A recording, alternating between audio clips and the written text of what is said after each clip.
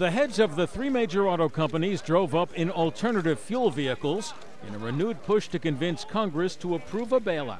We're here today because we made mistakes, which we're learning from, because some forces beyond our control have pushed us to the brink. And while they blame the recession and the lack of credit for their current situation, they also acknowledged their old business approach was flawed. We produced more vehicles than our customers wanted and then slashed prices, hurting the residual values of those vehicles and hurting our customers. Now, we are aggressively matching production to meet the true customer demand. The head of the UAW warned that without the money, GM could go out of business by month's end.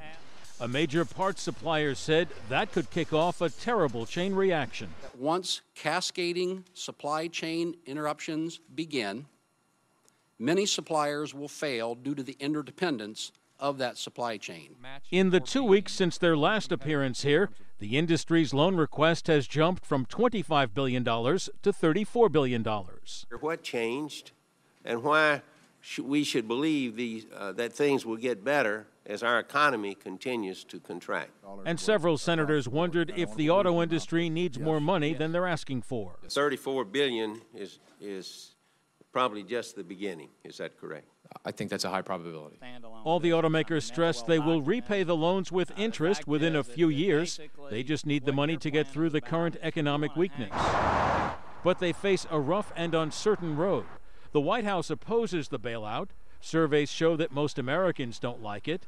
And Senate Majority Leader Harry Reid says there aren't enough votes right now to get it through Congress. Well. Bodlander, The Associated Press, Capitol Hill.